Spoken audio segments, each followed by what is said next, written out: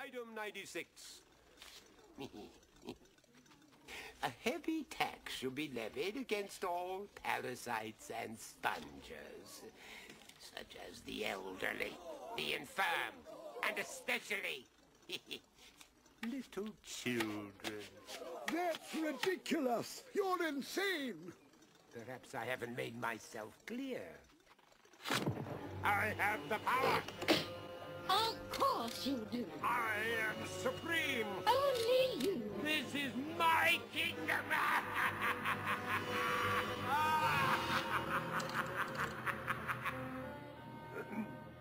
that is, of course, with your highness's permission. Most assuredly. You insidious fiend. Ah. You're not my royal consort. What a sense of humor. You're a cheap, rogue, and imposter. Havisham! A corrupt, vicious, demented, low-life scoundrel. There's no evil scheme you wouldn't concoct.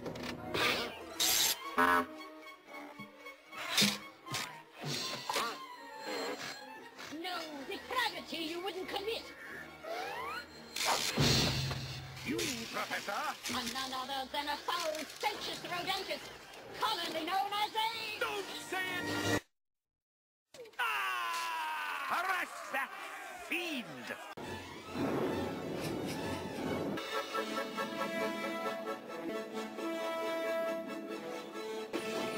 you